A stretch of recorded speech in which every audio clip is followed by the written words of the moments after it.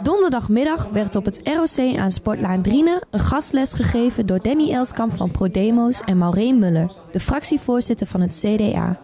De leerlingen gingen samen met de gastdocenten in gesprek over de democratie en de rol van de gemeente daarin. De bedoeling is dat we, uh, ja, dat we leerlingen toch uh, wat bijbrengen over de democratie en rechtsstaat in Nederland. Uh, hoe dat werkt en waarom het eigenlijk belangrijk is, ook voor leerlingen zelf, om ja, te, weten, te weten hoe dat werkt en ook waarom je zou gaan stemmen. Kijk, je bereikt nooit iedereen. Je merkt gewoon aan leerlingen dat ze, dat ze aan het einde van de les wel meer kennis hebben over hoe nou de politiek en de staatsinrichting in elkaar zitten. En dat ze daar ook wel geïnteresseerd naar kunnen luisteren.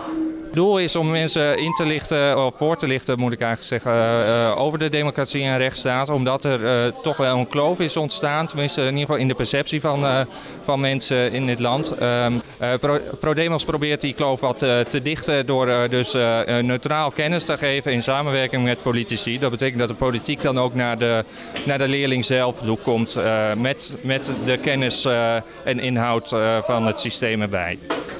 Ik ben uitgenodigd namens uh, ProDemos en uh, via de Griffie om een gastles te verzorgen in het kader van politiek. Hè, in aanloop naar de landelijke verkiezingen. ProDemos heeft het landelijke verhaal verteld. Hè, hoe, gaan, hoe werken de verkiezingen in de, in, de, Tweede Kamer, provinciale staten met name.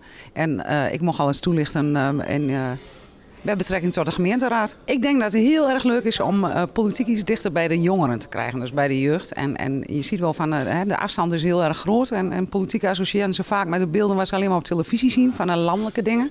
En we hebben dus echt gehad over van uh, ja, wat wordt er nu in je eigen stad beslist? Hoe werkt dat? En waarom moet je gaan kiezen en wat, wat kies je dan? En daar een beetje structuur in proberen aan te brengen. En nou, dat is wel redelijk gelukt, dacht ik. Ja.